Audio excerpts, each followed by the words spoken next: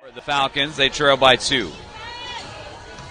Minnis gets it to Green. Green's going to take a three over Cavill and Jalen Green. Seven point deficit, had two different chances to make it a two possession game.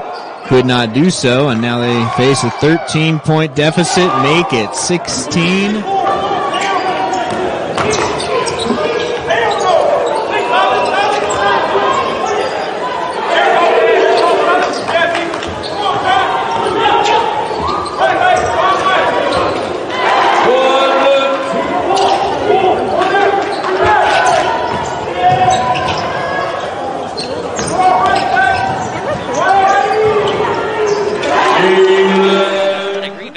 For Western.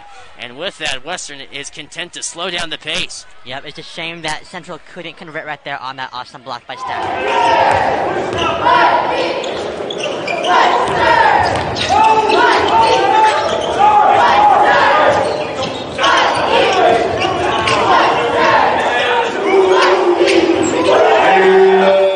Reed for Thompson, rather. Good heavens. But Green steps in, takes it away. He gets it back here.